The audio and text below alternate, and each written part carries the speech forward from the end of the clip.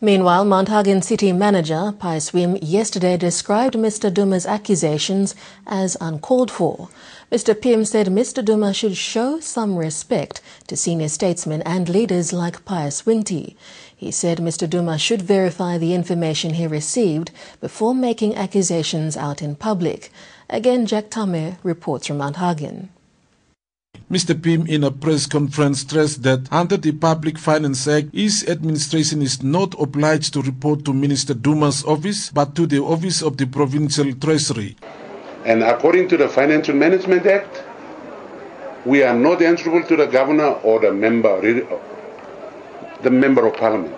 We are answerable to Treasury. We are, we are answerable to the audit.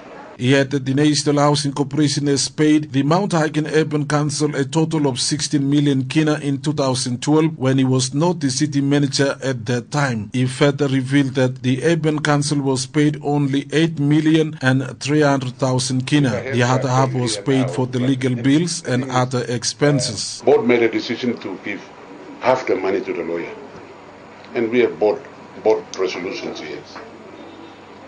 And I came later that was done before another manager.